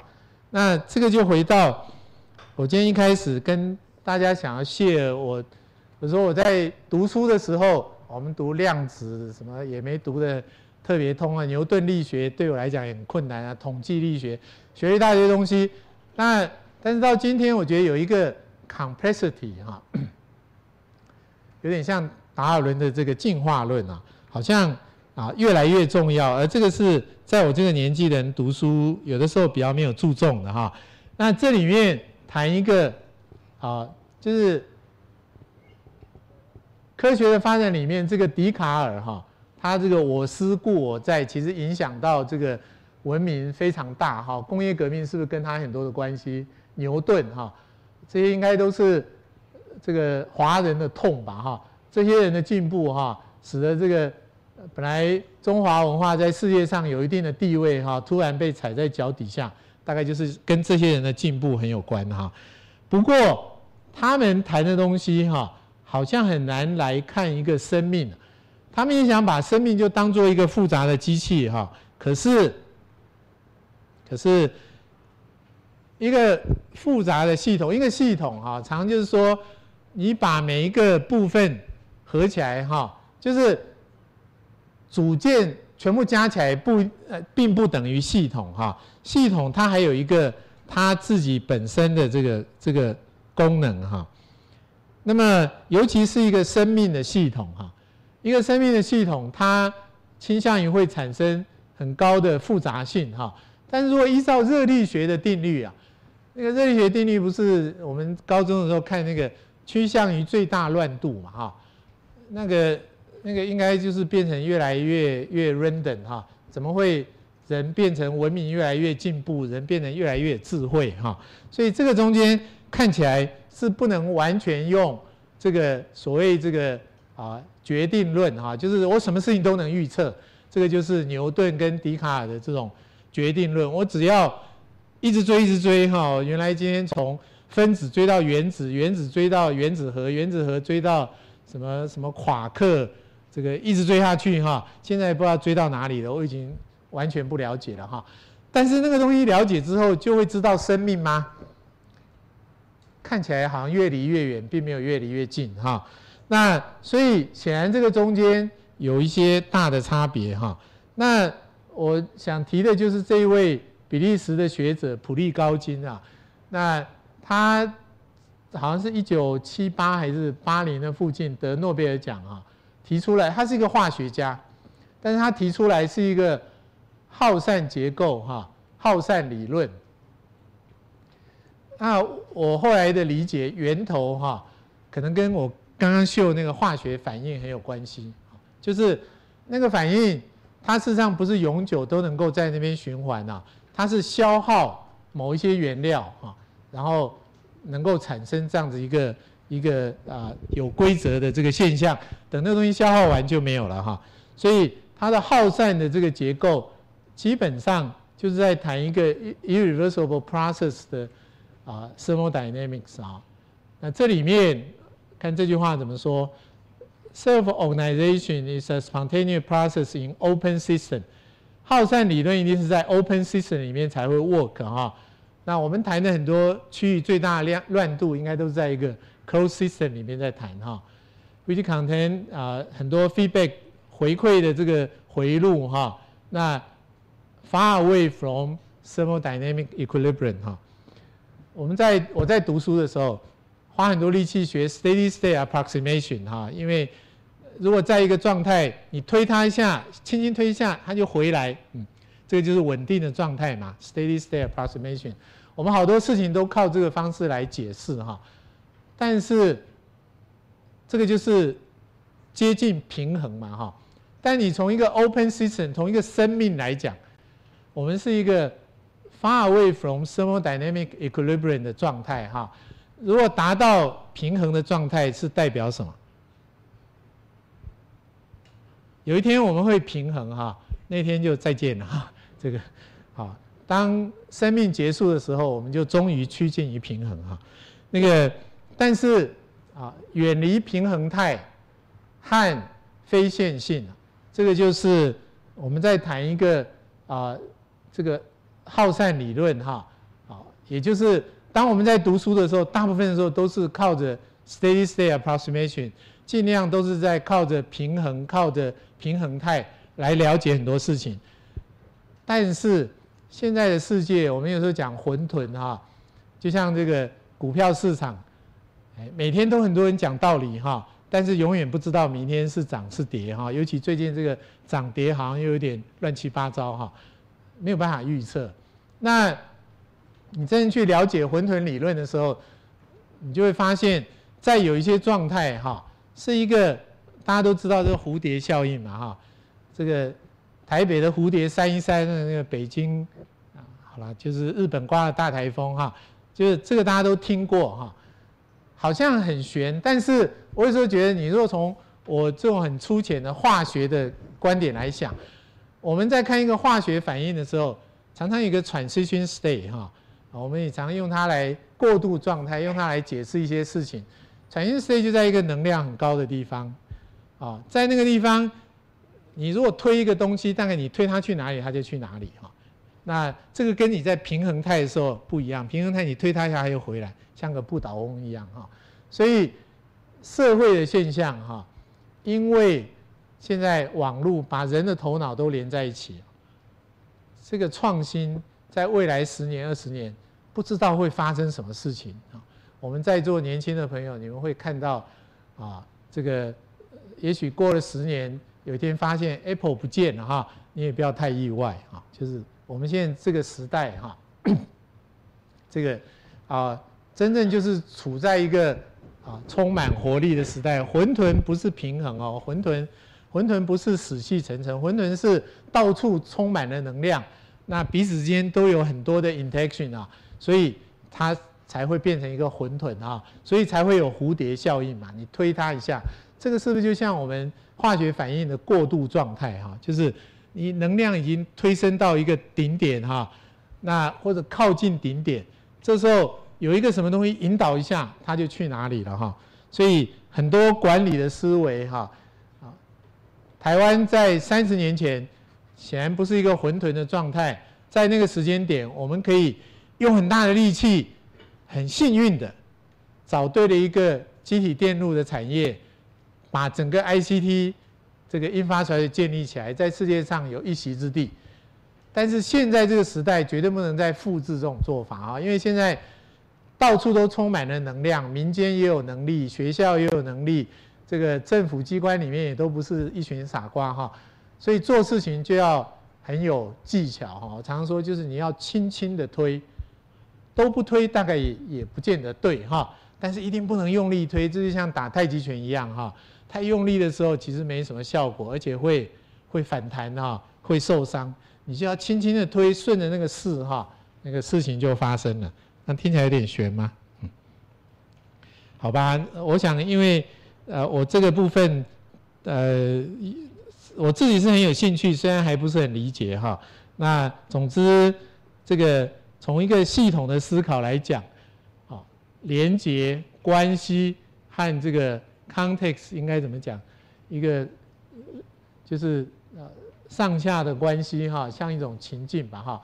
所以有时候讲哈。说以前我们小时候说靠关系是不好的哈，但是觉得现在这个时代哈，这个这个关系是很重要的。这个 relationship 当然不是那个不好的关系了哈，就是这个连接 relationship context，这在整个 system thinking 里面是是非常非常啊关键的哈。那啊，我相信啊，学化学的人，你如果好好想想化学反应啊。这个我们一讲就是一摩尔的分子哈，在那个在那个有能量的状况之下，怎么有一天从这个变成那个哈？我们也有很多模型去想它，啊，它真正跟这个现在这种复杂的社会哈，我觉得还是有很多相通性的，也许大家可以多一点体会了哈。那啊，我如果试着用这个例子，你看，我们学化学人都知道水分子知道氢键。这个当做一个 building block，它可能变成一个大海，哈。那经过很多很多作用，哈，我们中间都看不到，但是它有一天就变成一个台风，哈。那你说台风，台湾每年几乎都有，很难预测，好像很难预测，但是但是大概每年一到三个台风可能可能是正常的，哈。大部分时候都会有，万一有一年没有就很特别，那第二年只怕也还是会来，哈。所以这个就是。这种复杂现象，哈，在这个 building block 有很多非线性、远离平衡态的这种作用，但是最后呢，透过一个涌现性啊，我们会看到各式各样的现象。这个在复杂上，哈。那如果今天各位年轻的朋友有一天要进入职场哈，啊，我如果从这边跟大家写一个，啊，在这个管理上很喜欢用的 S curve 啊，这个有点像个 S。我们很多人都天天在追求哈，怎么样子？这个这个走到这个快速成长这个阶段哈，避开呃成熟哈。我如果回到当初在台湾推动半导体产业、机体电路，一九七二年开始，一九七四年去做技转，做到一九九零年的时候，台湾的机体电路产值占全世界零点六个 percent，微不足道啊！你看，从做了快二十年啊，你说成功了没有？所以那时候其实还是很多人批评啊，说这个对吗？哈，那个有根吗？能活得下来吗？一九九零，但是到了两千年的时候，这数字变成大概十六点八个 percent，就是台湾机体电路的产值就占到全世界相当的分量。那以今天来讲，大概二十几 percent 的机体电路是是台湾台湾做的。那因为台湾有机体电路，这跟 IC 设计结合起来，我们未来要这个服务当道的时代，哈。各位想，一个 service industry，service industry 最关键是什么？不是就是这个资通讯网络的技术嘛？哈，那我想这些都是啊，台湾有非常好的的的这个基础哈。不过那是一个三十年的事情哈。今天成功了，我们都讲一大堆道理，你看这样这样做就成功了。不过你去访问真正成功那些人，他会告诉你说。我在做的时候，我根本不知道会变成这样哈，我完全没有 idea，完全没有办法预测哈。那所以这个 S curve 哈，我觉得最最困难的事情就是你在前面这个酝酿期哈，我选择一个对的方向，我努力去做，做一年、两年、三年，怎么还在那个平平的地方哈？到底对还不对？到底要放弃还是要继续？哈，走到开始 take off 的时候，事情都容易。但是你是不是真正可以不经过前面那个，就比别人聪明哈，比别人运气好？哎，都是别人做苦工，然后你来享受成果。这我们就来想一想了哈。这是像我们做很多事情一样，这个真正的挑战在哪里？哈，真的就是这种没有办法预测哈。不知道成功不成功的时候，所以这个时候我还是希望啊，提供大家一点点 hint。我前面讲的也许也是很乱的哈，我让大家一点 hint，未来这个大方向可能是怎么样哈？跨领域真的是非常重要。我也不久以前有一次去荷兰访问，那个荷兰人跟我讲说，我隔壁是德国啊，他说德国是大国啊哈，那个呃什么高深的科技我都做出它，最后荷兰怎么办？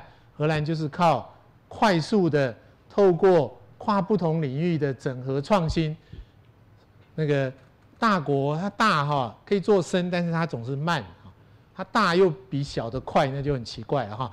那台湾各位想想看，台湾过去三五十年，我们石化业做的不错，钢铁业中钢也做的不错啊，什么叶龙不锈钢也做的不错啊。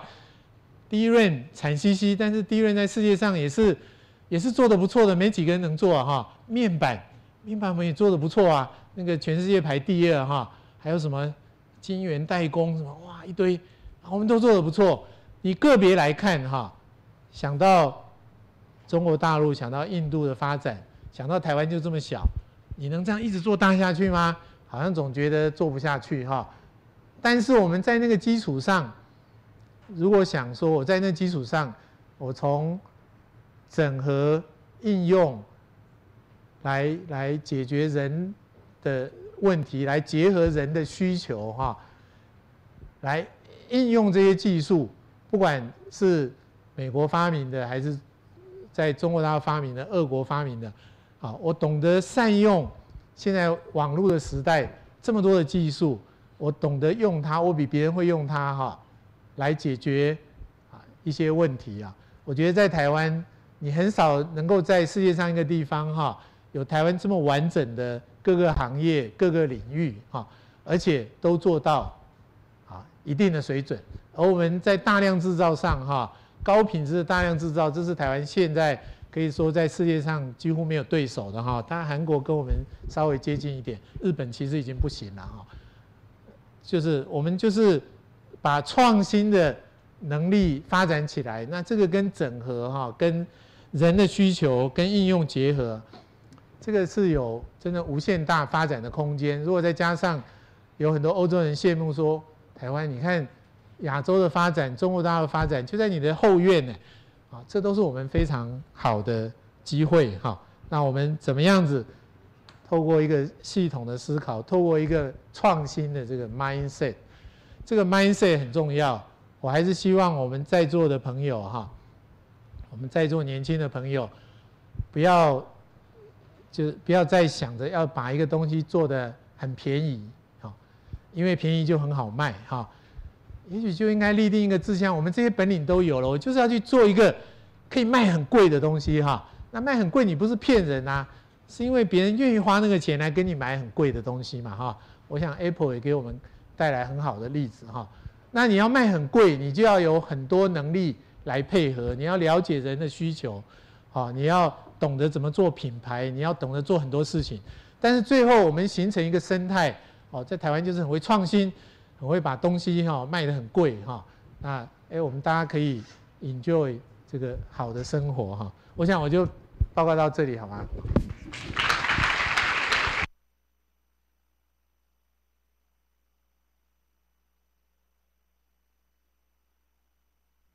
谢刘副院长为我们带来的精彩表演。稍后是 Q&A 时间，想向刘副院长提问的观众，请您将问题写在提问单上，并交给一旁的工作人员。若你的问题有被选中，就可以得到我们精心准备的奖品哦。所以请大家踊跃提问。另外，大家手中还有一张意见回馈表，也请在填写后交给工作人员。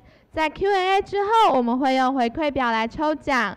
现在就请大家稍作休息，Q&A 将在五分钟之后开始。感谢各位的配合。Q&A 的时间现在开始，待会儿请被念到名字的观众起来发问，工作人员会将麦克风递交给您。现在我们把时间交给陈主任，有请陈主任。OK，我们开始我们的 Q&A 哈。呃，刘副院长跟我们讲了一些未来的事情，不过未来显然不好预测。不过你今天如果很注意听的话，你如果回到未来的时候，至少至少你可以知道大考的题目。呃，我们先看看这边的问题里头，呃，第一个问题是。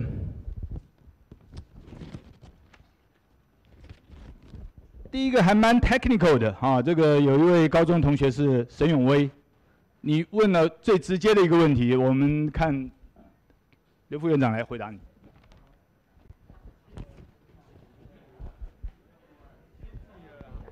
那个不好意思哦，那我问一下，那个茭白笋啊的种植过程，它是从路灯转变成那个 LED 灯，啊，那 LED 灯是什么东西？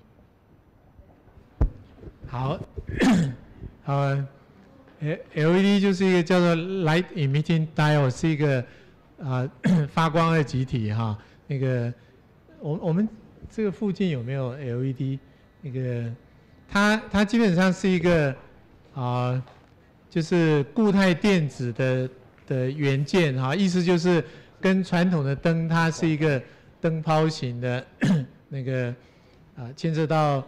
啊，钨丝灯是一种机制嘛，哈，那个日光灯是一个放电灯等等，不太一样。它就是一个啊，有一个啊，就是啊，靠着电子电动结合产生一个激发态而发出光了哈。所以它可以很小很小，那个来很有效的产生光。那啊，它经历过很长的时间哈。那从早期大概都是做一个，啊，哎，对，我想起来，我们现在那个那个过平交道那个那个号志灯，还那个有个小人在跑来跑去，那些都是用 LED 来做的，它有各种颜色哈。那一直到比较最近十年，因为蓝色的 LED 高效率的蓝色的发光的体发展出来哈，所以红绿蓝就齐备了，所以它的那个啊发展就变得很快。我们一方面可以把它变成一个照明用的灯哈，那我刚刚提到就是因为它红色，它它可以啊有红的 LED、绿的、蓝的和不同颜色的 LED，所以它可以针对植物啊很有效的，好像说植物的红光啊是大概呃对植物的生长有很大的作用哈，那蓝光有一些啊互补的作用哈，所以我们就可以选择用啊适当的。光源，而不是用一个。假如说我们今天用我们头顶上这个灯去照植物，它也会有效果，但是大部分的那个光可能都没用到。好，那呃，所以所以也就讲 LED 就是一个呃新的形态的灯，它的能源效率啊，经过这么多年的进展，目前。啊，作为一个照明来讲，哈，已经是一个最有效的照明的一个一个光源。就人来说，哈，那就植物来讲，那更是那个啊，比传统的灯来说，它的效率，我刚刚提到，如果啊，从路灯已经是一个很有效率的这种这种啊全全频谱的光源，哈，那但是用 LED 几乎可以省掉。剩下原来十分之一的能量，就就就可以达到类似的效果。用维基百科 （Wikipedia） 找一下，里面也有一些你需要的答案。那现在没有很快的、全面的一下都换成 LED，还是因为经济考量吗？啊，没有错，因为目前市场上去买一颗那个，好像说可以替代钨丝灯的那个灯泡。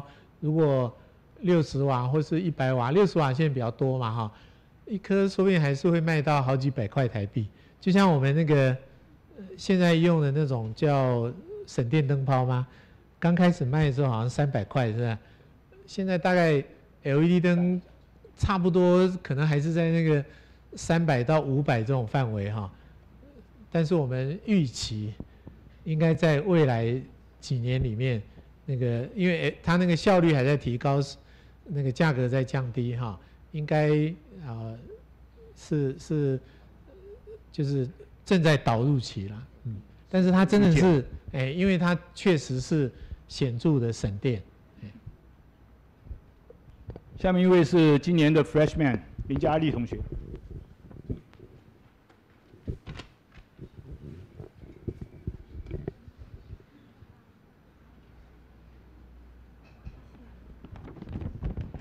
呃，副院长你好，我想要请问，就是如果我们应用科技改变了植物的生长期，就像刚才您提到关于茭白笋的那件事情，那我们在让我们的农业获利这一方面是很好的，可是对于植物它的生长会造成影响吗？或者是整个生态跟环境？是，我想你想的很好，那个。啊，这一点也确实是我们啊，可能需要更多的、更多的研究哈。目前我大概只能这样说，就是从啊过去用那个路灯来照这样子哈，因为这个啊用光的话 啊，这说不定应该我们生物专家来发表意见哈。用光来讲，它也没有好像说去做什么基因重组了哈，也没有去做什么复杂，就有点像补助嘛哈，就是你不足的时候给它多一点哈。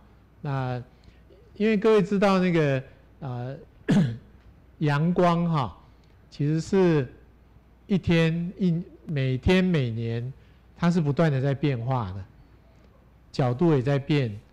照度也在变，其实对一个植物来讲，哈，那个感觉上是需要很有智慧哈，能够应付这个这个三一年三百六十五天阳光都在变哈，那那你用一个人工光的时候，其实它会变成非常稳定的哈。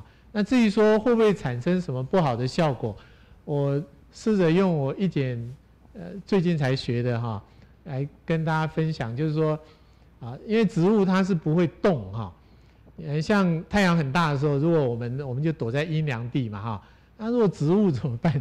植物它好像也也跑不掉哈。所以植物有发展出来一种二次代谢的功能，就是啊，它这个啊经过长期的新这这这个呃淘汰吧哈，就是它二次代谢会产生出来一些类似像什么光安定剂啊，或者是什么抗氧化剂这种哈，那能够让它耐得住一些环境的伤害哈啊。事实上，我们有时候很多那个中药。以前我们小时候读武侠小说哈，那个很有用的药都在什么悬崖绝壁，然后在那种很危险的地方。现在想想都是植物受到很大的那种 stress 环境的张力嘛哈，但是它活下来的，它就会产出一些东西，让它比较能够应付那些恶劣的的的环境然后，所以我们照它，它也许长出一点什么二次代谢的东西哈，这个我不太晓得。那不过我们确实应该注意，它是不是对生态产生太大的冲击？哎，这个问题，谢谢。好，谢谢。有很多人一天到晚问我说，呃，有机的食物好在哪里？我说你吃了没坏处就是好处，你吃了有坏处的话就是就就不是了。所以有些时候说明这个茭白笋是不是比原来的营养更好？我们也不知道。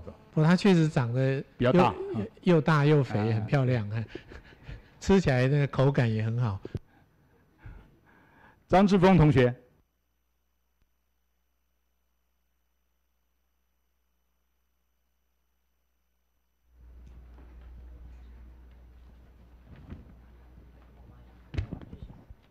嗯，喂，我想请问副院长，就是。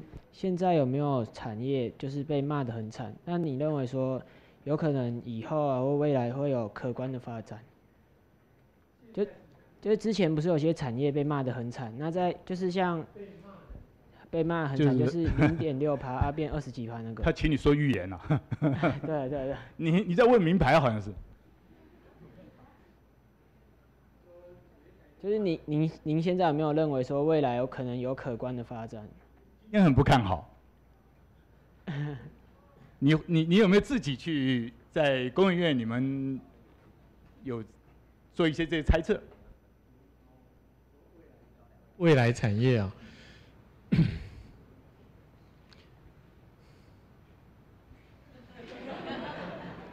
这这你好像在问股票，还在问名牌，或者在问什么东西？其实啊，你们。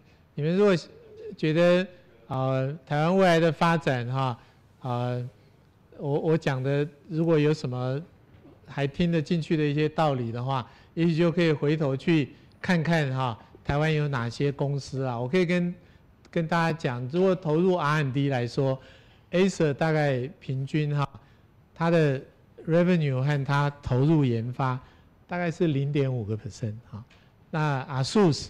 是二点五个 percent，那 HTC 宏达电大概快五个 percent，那呃，我认为说，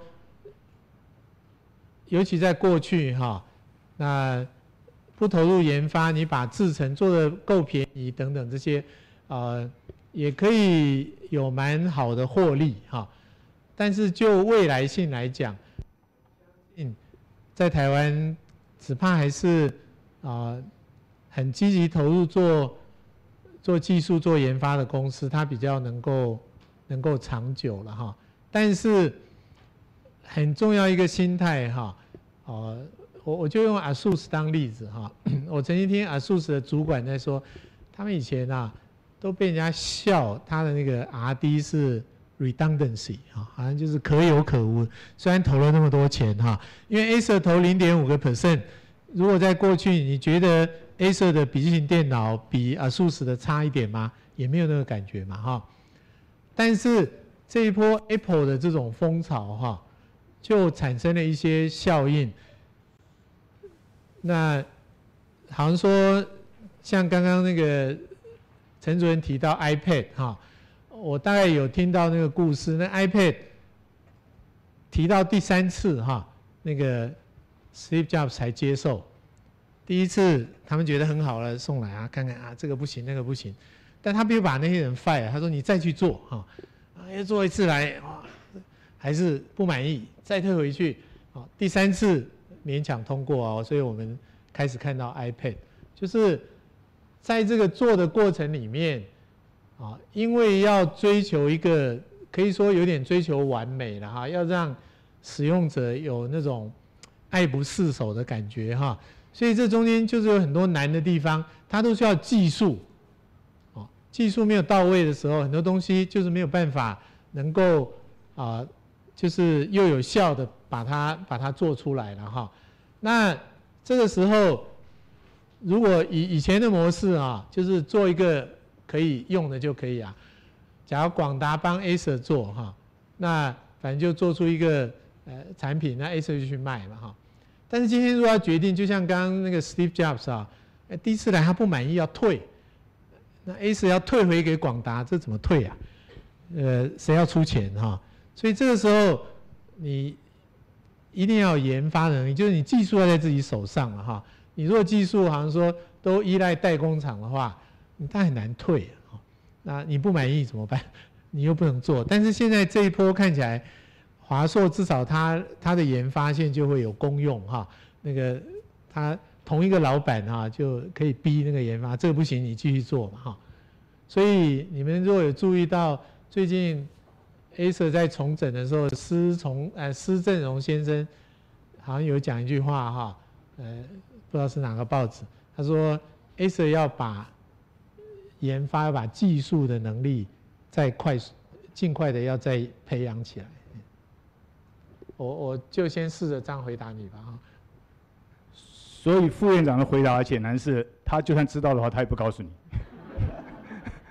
票市场是很难预测的啊，尤其牵涉到时间。对，因为很多年前，我印象中那个那个太阳能出来的时候哈，那个有很多人会来工研院问嘛哈，说哎那个一百多块。合不合理啊？我们都觉得不合理啊，但是它最后涨到八百块哈，那你也不知道怎么办。但是你看它现在就跌到可能剩下十八块哈，那个，所以所以呃，如果是看股票市场是没有办法看的哈，但是好的公司那个应该看得出来，就像长春这种公司哈，五十年不断的做研发，我们曾经在一个场合哈，请他们高阶的主管来分享哈。哎，你们公司到底为什么可以这样做哈？他就提到两点，他就说，第一个，老板哈要有耐心哈；第二个，老板要容忍失败哈。所以啊，很多公司的这个转型啊，如果老板转不转不起来的时候，其实是很困难的哈，比想象中的难非常多，不是投入研发就会成功了。所以你去找那个公司有这种好的老板哈，又有好的人才，又好好在做的哈，那个其实 HTC 一定是好的公司，只是股票太高了。你你也考虑可要考虑进工研院？OK，我们后面有三个问题哈，我在国中、高中、大学呢各挑了一张出来。啊，第一个是国中的张维珍同学。你你的第二个问题太大了，只问第一个好不好？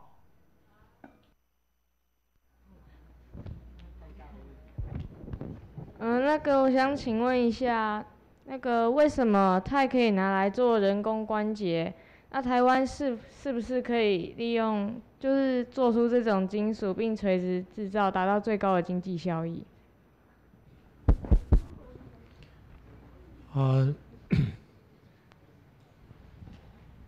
我我想，可以，它也可以做人工关节，一定有很多啊原因哈，包括因为你用在人身上，人是会动的，所以一定不能用很重的东西了哈。那所以钛它的强度和那个啊重量比啊是是很好的。不过我必须承认，我不是这方面真正的专家。我愿意跟你谢一点，就是说。今天在做包括人工关节或是很多啊生医用、医疗用的材料啊，有一个非常关键的事情就是生物相容性，就那个材质到人体里面会不会被排斥哈？那另外呢，就是啊，因为你真的要用在人身上，都需要经过包括啊卫生署或是美国的那个 FDA 的认证哈，所以一开始做这些啊产品做这种应用的时候，应该都要把这个因素考量起来，就是我不要用一个一个原料哈，它一定过不了那个认证的哈，啊，或者说哎我就用了一个原料，它它根本生物相容性就是很差的啊，这些是要避免。那啊，那至于说啊台湾能不能把一个骨科的医疗器材做得更成功一点？我认为这种就像跟很多行业一样，应该都是有机会的。只是所有这些事情啊，在世界上都有很多聪明人也在做。那我们有什么条件做得比别人更快更好啊？这个特别在更好上面嘛哈。那啊，假如你有兴趣，你可以注意。呃，可以也许网站上查一查，呃，在台湾过去呃三年有一个好的例子，就是台大医院的骨科的医师一群人跟公营院的生医所的一群人一起合作，发明一个叫做两项骨材哈，就是它可以这个让啊这种啊就是。我相信，包括关节的移植了哈，变成啊非常的容易哈。那啊好像呃可能时间的关系了哈，我就想说，你如果对这个议题特别有兴趣的话，我建议你去去 Google 一下两项哈，项就是那个木字旁相位的相哈，两项古材。那这边是真正有一个，在我认为就是有一个好的创新，而这个创新呢，它因为是一个材料，它实际上是一个平台，它今天用在关节上，啊，膝关节可以很好，那明天它可以用在别的地方哈，你稍微 modify 一下哈，它它都有，就是你在那个创新的基础上可以衍生很多啊相关的这个应用了哈，所以我如果乐观一点，就是说。如果我们在台湾透过跨领域的合作，医生的专业跟做化学的、做材料、做生物的专业，能够很好的结合起来，那做出一个东西，就是在世界上真的就是别人没有的，而且他就是呃，医生都觉得哇，这个就对了，这个就好用了哈。那我想我们就会成功。但是如果别人有卖一百块哈，我在想说啊，我就想办法来这个做做，然后卖五十块哈。我觉得这样永远都不会成功。因为时间的缘故，我现在就挑了最后一个，是一位文科的大学同学，是不太确定是吴一珍吗？我不知道这个第三个字我有没有念错。无疑，你看出来这第三个是什么吗？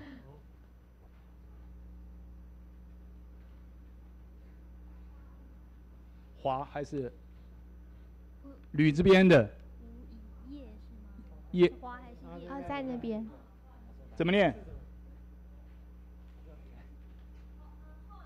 吴一化。吴一化。看一下，哦，对，是我写。嗯，你好，嗯，我想要询问的是，哎，讲座中好像没有提及很多文化产业部分。文文化产业就是现在像有些学生会自己。创作衣服、帽子、鞋子这样子的日用品，那这样像这样子的文创的产业有没有就是化学可以跟化学这边有一个很好的一个发展，就是的产品很好奇有没有就是我嗯我不太会讲，对，刚刚都是呃农业啊、植植物工厂或者是。医医疗方面的那日用品呢，有没有跟化学上面可以做一个结合，有一个未来的发展性的产品？好，不好意思。诶，我我想，因为化学是很很基础的的东西哈，那几乎每个地方都要用到，所以如果回答你说有没有，一定有哈。那啊，结合啊，怎么跟这个？例如说，我我想要做一个东西，我想要用一个比较好的材质去做出来的话，有没有这样子的一个案例可以跟我们分享？我很好奇，有没有？用一个。好的材质，做出文化。对，像有现在好像会有那种铁丝绕成名字，就是可以当吊饰这样子的一个东西。然后想说有没有其他相关的案例？刚刚没有听听到很多日用品的，都比较是电子。好，假如说日用品的话，其实就是抓这些方向。我不知道我讲的例子合不合适你想的哈。就是你看，像在台湾。有一个事情做的很成功，就是回收那个保特瓶哈，像慈济，他们回收保特瓶回收的很好。那保特瓶回收出来，它就是一个 PET，就是那个聚酯。所以你把保特瓶回收，再去经过一个程序纺成，就织成纤维，纺成布去做衣服哈。因为那个环保的关系，有人愿意。多花百分之十、百分之二十的钱来买你设计、你做出来的的衣服哈。那你如果以此类推的话，啊，有一个啊，就就在台湾都有人在努力在做啦，好像说从啊咖啡渣，好怎么去把它收集起来，那也是透过这个回收，把它变成一个纤维哈，就是。哎，我用咖啡渣做成一个纺织品哈，那它这个就是啊，就是绿色环保嘛哈，那可能还有一些其他特别的，这种这种例子虽然有些啊，好像好像小小的哈，那个我印象中我们还有过一个例子是那个啊，一就是就是啊。哎，那个叫什么什么咖啡呀？哈，就是原来有一种咖啡，类似像麝香猫这种，是用它的排泄物哈，弄出那个那个香味，但是人就有点受不了嘛，哈，就说哇，用那个做出来的做出来的咖啡喝起来蛮难过的哈。那有人就利用发酵的方法哈，在那个之前哈，把它那个香味萃取出来哈，就不是一个好像大便里面。变出来的那个那个麝香咖啡哈，哎，这个也取得很好的卖点就这些小小的创意哈，其实是遍地都是，但是真的就是要跨领域的结合了哈。嗯，谢谢。也许我可以略补充一点点。我今天会提到 iPad 的原因，是因为跟同事在讨论 iPad 的时候，呃，有一位同事他特别强调说，iPad 做出来产品。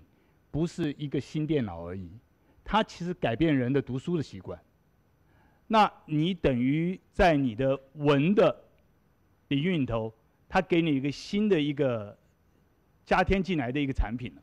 OK，那当然对未来是好是不好？比如说你这个常常在这个走走路的时候，你好像在还还在那边手动来动去什么，这这些东西这是另外一件事情。不过他是想有一种新的想法，所以你这个问题。你好像有在预期的答案，有些时候是一个化学成品，直接把它转到一个是呃文创上面可以用，可事实上，呃文艺和科技中间的那个线也许不是那么的清楚。那么清楚。如果我们这样讲说，刚刚其实这个副院长在一开始的时候提到一件事情，我觉得很重要，就是说化学其实是操纵物质的本事。如果你从这个角度来讲的话，你我们周围环境里头的什么物质我们不可以操纵？我们并不是只操纵人工物质、人造物质，我们也可以操纵天然物质。所以你如果用这种角度去思考的话，你文创需要的东西，化学有没有办法应用上去？说明还可以接上其他的科技，都可以，都是可能的嘛，对不对？所以也许其实机会很多。对对，就是。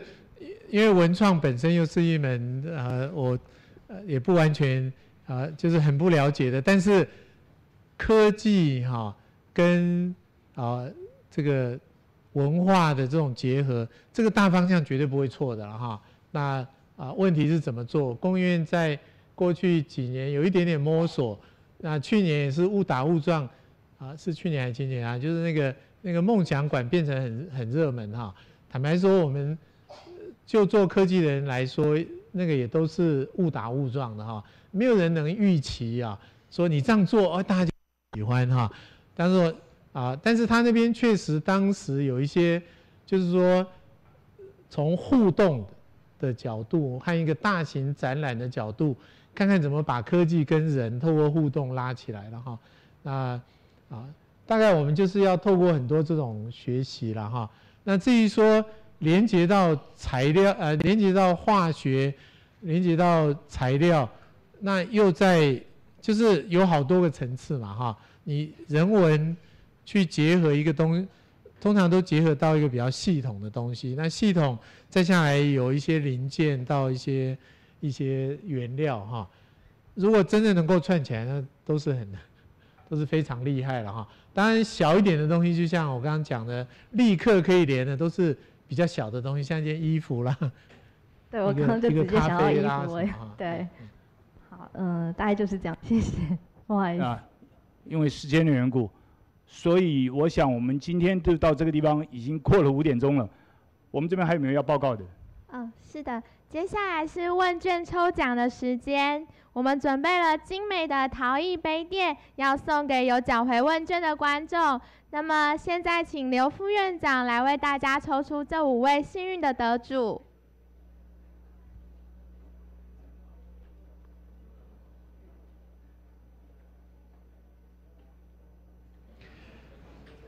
好，谢守婷。谢守婷在吗？谢守婷，守婷在吗？谢守婷。请到前面来。廖冠全，请到前面来。孔中日，孔中日。林毅，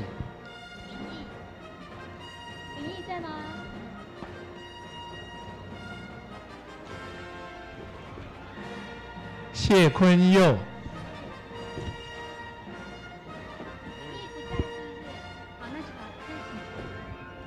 谢坤佑有没有在？有。林毅不在了哈。这个是谁？在不在？林毅。林毅不在嘛哈。好。那现在是最后一位。尤坤阳。尤坤阳。不在哈。记。再抽一次。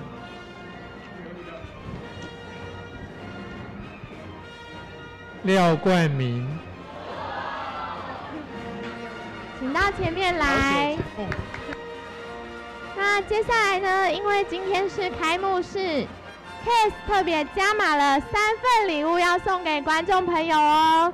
那么现在我们请肖教授来为我们这抽抽出这三位幸运得主，有请肖教授。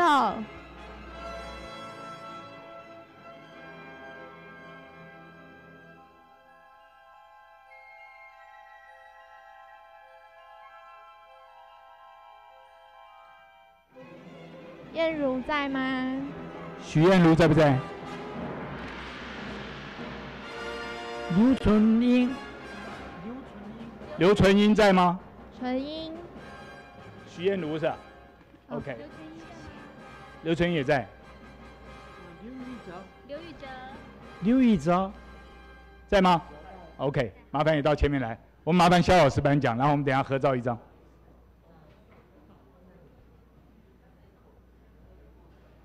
请幸运的观众在台上与我们刘副院长。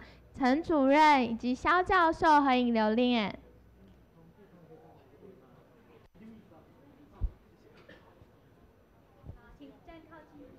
呃，一起来，一起来。好。我们要到中间去啊？好，那来来来，那让我们在中间。可能要弯一点，你到我前面来好了。其实有，其实有有有人蹲下去。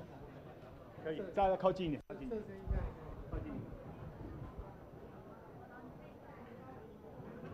嗯，其他的朋友没有抽到没有关系，我们在每一场讲座最后都会举行问卷抽奖，只要再来参加就有机会哦。今天的活动就到此结束。如果您在校内有停车，请拿停车券到服务台盖章，可享有停车费半价的优惠。再次感谢您的参与，我们下回再见。